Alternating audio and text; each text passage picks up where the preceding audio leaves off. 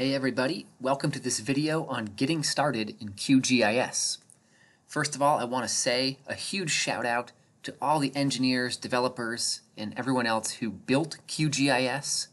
I had nothing to do with it, but I did donate $100 to QGIS, and I really encourage you to do the same.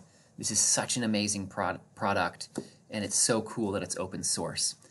So in this video, we're going to do five things. Going to show you how to open and save a project in QGIS, how to set a coordinate system in your QGIS project, how to add data and stream a base map. We'll do a little orientation to moving around in the workspace, and then I'll show you how to set up a favorite directory. So let's get right into it here. I'm on a Windows, so I open up QGIS from the, the Start menu, type in QGIS. I always open the version with grass I find that opens up the, the most full suite of functionality. Notice I have upgraded to QGIS 3.10. Uh, new versions of QGIS are constantly coming out, so you may want to check that you're using an updated version.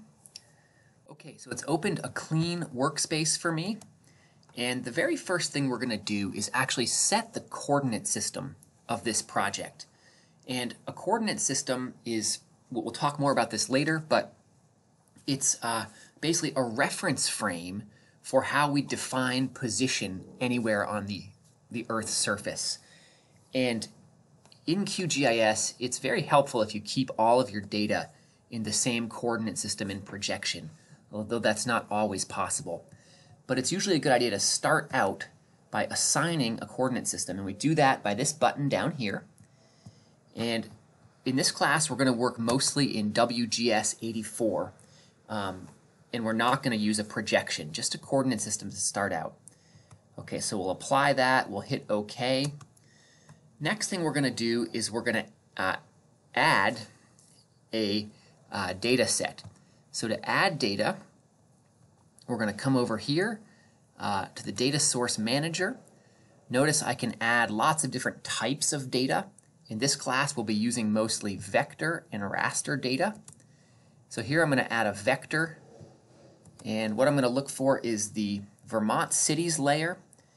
Again, because it's a vector shapefile, we have six or seven different uh, auxiliary and metadata files.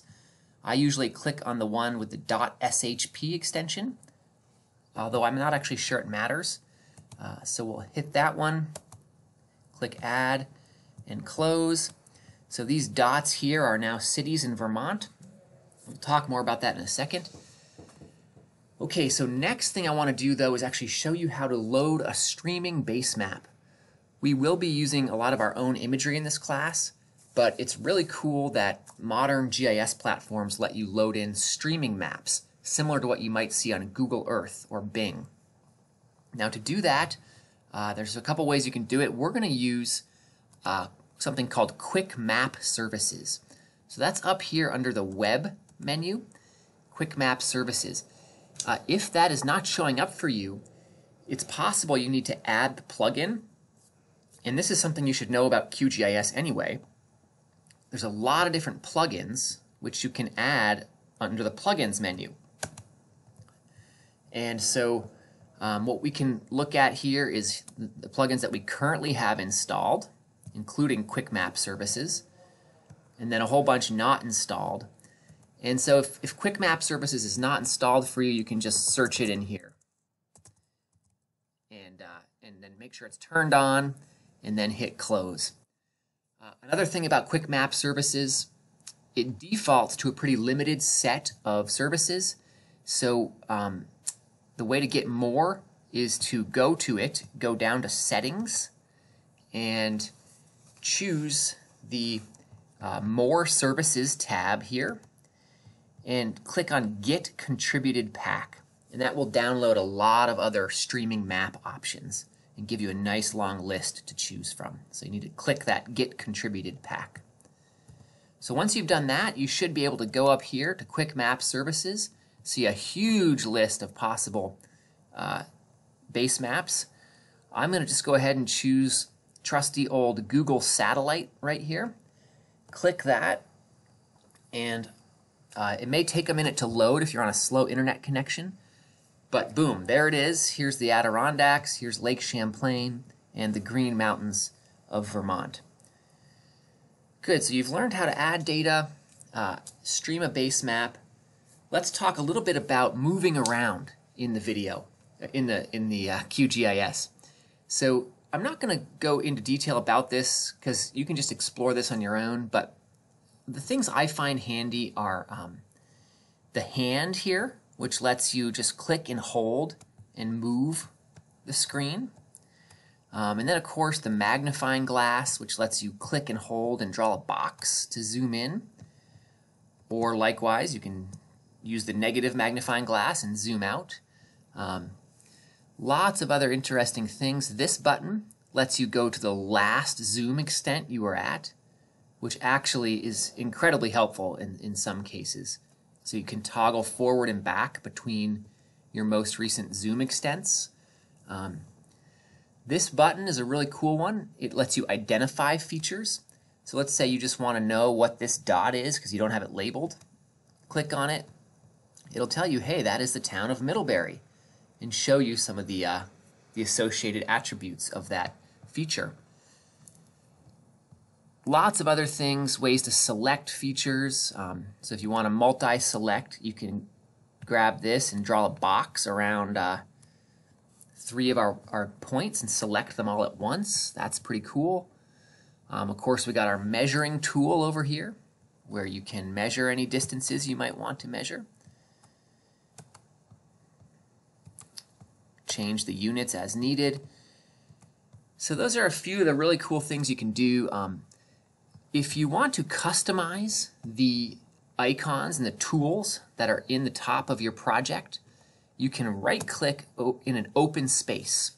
So notice I didn't right click just anywhere. I, I right clicked here on the open part of the toolbar and you can you can turn all this stuff on and off to to clean up and simplify your toolbar or to add more stuff to it.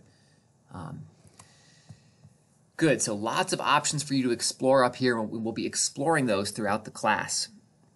Another thing to note about uh, QGIS is um, the table of contents over here. So these are the various layers that we have added to our GIS project. Um, you, and you can interact with any, any of them over here by right-clicking on them and getting lots of options, or simply by just, you can also move them up and down, depending what you want on top. So notice when I move the satellite stream above the cities layer, they disappeared. Now I'll move the cities layer back up, and notice my, my city dots are now back on top. So you can, you can order what's on top and the bottom over there. Um, we also have this browser window. And this browser window is essentially showing you uh, the various folder connections that we've made.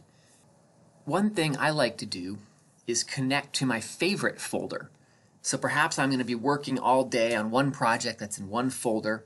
So I can just set that up right here. I'll right click on the favorites, add a directory.